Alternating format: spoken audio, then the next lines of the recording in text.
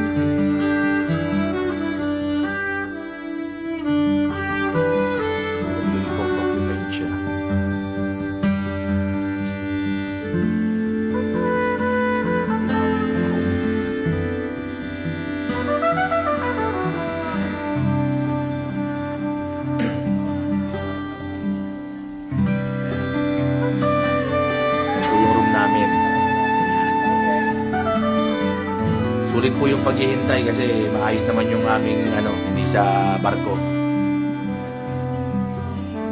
Pre, kaway daw dyan. Isang kaway lang, pre.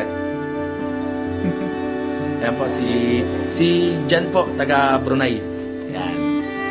Tapos kami dalawa, taga Riyadh. Yung food po, okay naman. Ayan. Medyo kanalo. Sulit ang paghihintay.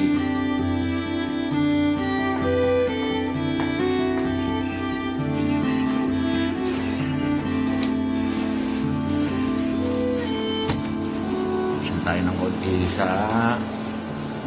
Yan. Meron po siya parang tambayan kasi dito. Yan. Yan. Hindi aircon pa po kami.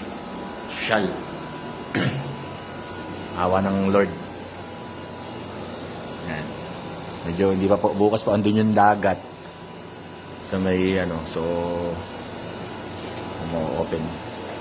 Siya mabuksan eh. Yan. Bukas po ng umaga, medyo ano natin.